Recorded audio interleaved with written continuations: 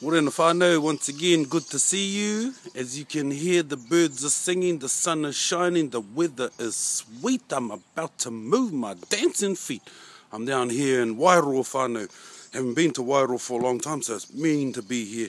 Uh, we've got a few activities we're going to do today. First, starting off, we're heading down to Osler's, to hook up with a couple of the mana rongo mai wahine whānau, and they're going to take us around to meet some people today and do some activities with the whānau. Uh, we've got I hear a bit of an interview with the Wairoa newspaper and um, a couple of photos, you know how we do it.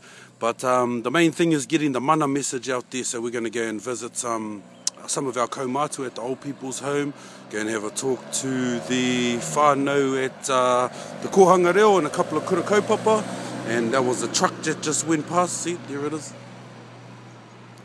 Wairoa, me, me.